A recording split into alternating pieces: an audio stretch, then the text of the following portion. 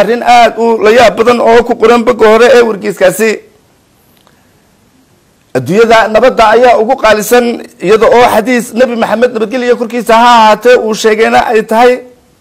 allahuma inii acuudu bika min alamni waaliimaan amniga ayaa ka horreeya iimaanka. Oo haddii aanad amni helin iimaan meelaad ku tukatay iyo meelaad ku cibaadaysatay meelaad ku soonto midna ma helaysid saasi darteed nabaddu iyo amnigu waxa uu noqday furaha diinta iyo noloshaba maxay kula tahay haddii dawlad ka mid a dalkaasi soomaaliya ay duulaan ku tahay nabadda islamarkaasina ka xajiimooto? Waa qiso aada u xanuun badan diinta islaamkana meelka dhac ku ah.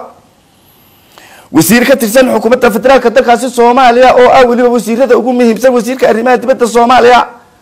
ayaa khudbad meel uu ka jeedinay waxa uu sheegay islamarkaasina ugu hanjabay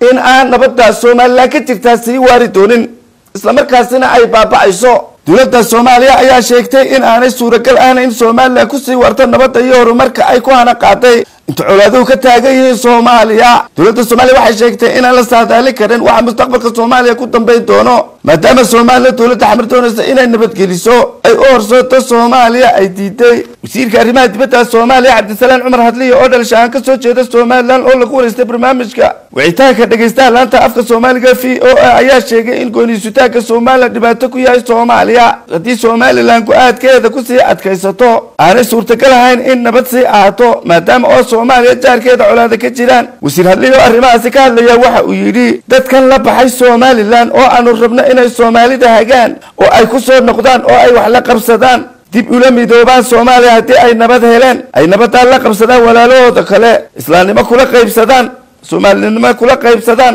wasiirka arrimaha dibadda soomaaliya cabdisalaan cumar hadliya wuxuu sheegay in loo baahan yahay somalilan soomaaliya inay jiha isku mid a u wada jeedsadaan. Haddii kale ammaan darrada soomaaliya ka jirta saameyn ku yeelanayso somalilan haddii qof waliba uu farxo marka ka kale la wiiqo wax shaqaynayaa ma jiro waxaa loo baahan yahay jiha loo wada jeedsado waayo ma dherigtid. Haddii walaalkaa gaajoonayo waxaanu intaa ku daray in uu ka digay in colaadaha soomaaliya ka jira saameeyaan somalilan ma noolaanaysid haddii guriga kugu xigaa gubanayo kaaguna u gubanayaa ma suurtoobaysa inaad meel samaysato oo aad tidhaahdo keligay uunbaa noolaanaya wasiirku wuxuu ka dariyey mustaqbalka dalka soomaaliya. Haddii aan taa la helinna somalilan ay noqonayso dawada keliya ee soomaaliya badbaadisa. Haddii kale nabadda somalilanna aanay jiraynin. Hadliya waxa uu sheegay in mustaqbalka la ogaan doono waxyaalaha uu sheegayo